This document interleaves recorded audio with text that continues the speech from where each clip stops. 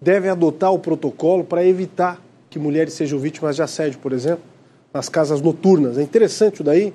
O Alexandre Mendonça vai trazer informações. Tem conexão com o que está acontecendo com o Daniel Alves lá na Espanha, Alexandre? Exatamente, Polito, exatamente. Tem sim. Porque lá esse protocolo que você se referiu, né, deu muito certo para vários casos e principalmente para esse caso envolvendo o jogador de futebol Daniel Alves, né, do Barcelona. Isso aconteceu há alguns anos. Ele foi acusado, né, dentro de uma casa noturna, de assédio sexual, de um suposto estupro até. E aí já havia toda uma. Todos os, os funcionários já estavam preparados, treinados para fazer uma abordagem num momento como esse. E é exatamente esse tipo de abordagem que eles querem implantar também aqui em Santa Catarina, especialmente nos municípios da Grande Florianópolis. Então, por exemplo, é um treinamento né, para boates, funcionários de boates, danceterias, casas de shows, quer dizer, todos os locais onde tem um acúmulo, né, é um agrupamento de muita gente junto e que tem locais, às vezes, escuros, isolados. Então, são para esses locais que a Promotoria de Justiça aqui de Santa Catarina, de Florianópolis, quer realmente implantar. Então, eles vão fazer um treinamento para mostrar o que é uma agressão, como fazer com que aquela pessoa seja protegida na hora, a vítima, né, a mulher, e como que ela pode fazer essa denúncia sem sofrer nenhum tipo de retaliação, por exemplo. Agora, só para você ter uma ideia, isso está sendo implantado porque existe um motivo, né? É a crescente alta dos números de casos de supostos estupros, né? De violência, no geral, contra a mulher. A gente tem dados aqui, por exemplo, de Santa Catarina e também de Florianópolis, vou mostrar para vocês. Em todo o estado, aconteceu, por exemplo, em 2021, 4.593 casos de estupro. Em 2022, subiu para 4.656 casos. Já em Florianópolis, só aqui na, em Floripa, em 2021 teve 236 casos e subiu em 2022 para 281 casos.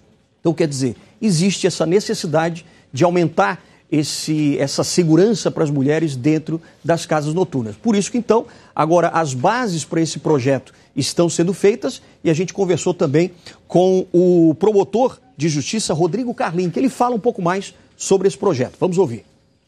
Iniciativa visa a prevenção e o combate a agressões de vítimas, em, especialmente em casas noturnas da região. O programa aqui ele é baseado em, em três pilares. Tá?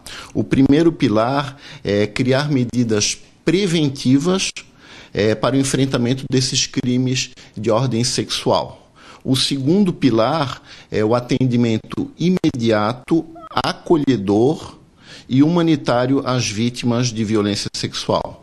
E o terceiro pilar seria na identificação da autoria do crime, preservação de provas, é, preservação inclusive de eventuais filmagens no local, identificação do autor, como já dito, é, identificação de eventuais testemunhas, tudo isso como forma de tornar eficaz a, o, a, o, combate a esse tipo de criminalidade. Tá? A, a ideia é a criação de um protocolo tá? junto é, às casas noturnas para atendimento dessas vítimas de violência sexual.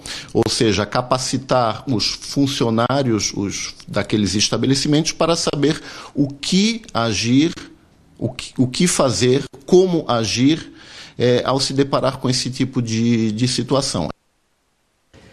Pois é, lá na Espanha, né? Já é um protocolo que deu muito certo já nos últimos cinco anos e espera-se, claro, que dê certo aqui na Grande Florianópolis também. Polito. Obrigado, Alexandre Mendonça, com informações ao vivo. Importante frisar que esses casos que nós mostramos em dados não se referem apenas, única e exclusivamente, a casos que envolvem situações em casas noturnas. São casos genéricos, né? Situações diversas que aconteceram em território catarinense. E em relação ao caso Daniel Alves, importante reforçar que ele não foi condenado. Ele sim está preso em prisão preventiva, porque a lei, o Código Penal na Espanha é um pouco diferente do brasileiro. As investigações continuam, há uma série né, de passos que ainda precisam ser dados e há incongruências, tanto nos depoimentos do Daniel como também nos depoimentos da vítima. A polícia ainda está tentando montar esse quebra-cabeças. Ainda não há condenação. Ó, tá vindo a Central do Tempo, Camila Levien traz